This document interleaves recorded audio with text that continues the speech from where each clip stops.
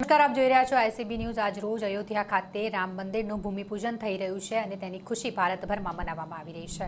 ત્યારે છોટાઉદેપુર જિલ્લાના બોડેલી તાલુકાના અનેક ગામોમાં પણ આ ઉત્સવ મનાવવામાં આવ્યો હતો.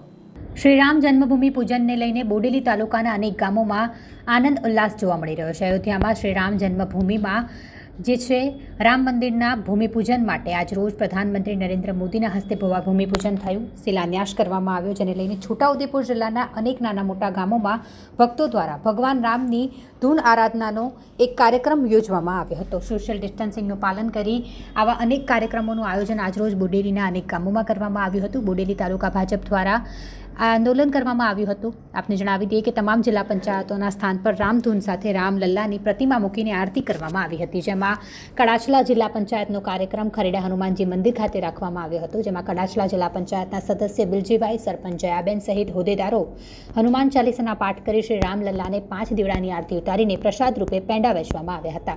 આમ આજના દિવસે શ્રી રામલલ્લાના શિલાન્યાસનો કાર્યક્રમ ભલે અયોધ્યામાં થયો હોય, પરંતુ તેનો રંગેચંગે કાર્યક્રમ જિલ્લા તાલુકાના તમામ નાના મોટા ગામોમાં રામ ભક્તોએ કર્યો હતો.